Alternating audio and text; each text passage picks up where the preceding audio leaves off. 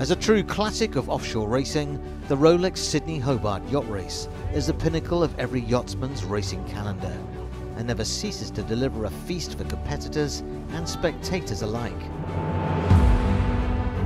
First away from the line are the biggest boats, the 100 footers. All four of these yachts have proven track records over this 628 nautical mile course. And they're away on the 73rd Rolex Sydney Hobart. The race to Hobart is go. Blackjack, terrific start, midline. Little boat, Wild Oats, well back. Well back at the moment. There's Mark Richards just looking to line up. These big boats. Uncharacteristic, uh, uncharacteristically, Wild Oats 11 just sitting back a little bit, caught out a little bit at the start. Big line, go mate on. It's not quite the same conditions. You can see the heel angle on uh, Blackjack is quite significantly more. Two leaders. Blackjack has got Comanche locked out there. Comanche could not tack, but what there from this front lot of yachts. It's very difficult back there. The, the air's all over this place in this lighter air. It's all split up by these sails. There's the Sow and Pig Reef just in the top of screen. Power up a lot more, and she's just advancing ever so slightly. Two leaders have sprung away from Wild Oats 11 and certainly InfoTrack.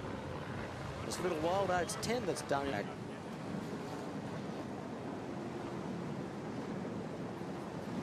Blackjack in line to uh, take the honours out of Sydney Harbour. An impressive display by both uh, speed up the harbour. And Jimmy Spithill, you'd think would be pretty happy with the way this is performing right now. Very much so, with a full massive keel from side to side. Sheared off and she had to retire in the middle of Bass Strait. Here's the turning mark. So just... Most licking his lips, he knows he's going to make some ground up and most likely get past Comanche. As soon as they get to the turning mark, There'll be easing sheets for Hobart. The breeze will strengthen. Now you've got Comanche, without doubt, you know, the, the fastest monohull in the world. In Wild Oats and Blackjack, the great machines. You've got last year's race winner and record breaking boat in InfoTrack, so it's going to be a very exciting race to watch. Blackjack and LDV Comanche got the better starts, with Wild Oats 11 playing catch up from the off. But they soon found their pace and sneaked ahead of LDV Comanche with a bold manoeuvre that risked infringement. Wild Oats is tacking. Oh. This is close. Whoa. Oh. Protest. Protest they're calling. You want to bail out or hold? Let's listen, let's listen. Jimmy Spithill says, should we hold there? Did they tack too close? Did Wild Oats, Wild Oats tack too close? Yeah, yeah. Oh, going to have to bail oh. here, Kelvin. How far to lay line, Stan? No. Stan, how far to lay line? Gee. That is about as close as you want to get two multi-million dollar maxis. DV Comanche had all the rights because she was on starboard tack. Wild Oats had no right. She had action there. Unbelievable. While that's happening, Blackjack has made a break there. Flag. See that red flag under, just behind our camera girl there? That's the protest flag around in those days. But there's the protest flag, so that means that Jimmy Spithill to see a little bit more, but you can see the real difference between these two boats.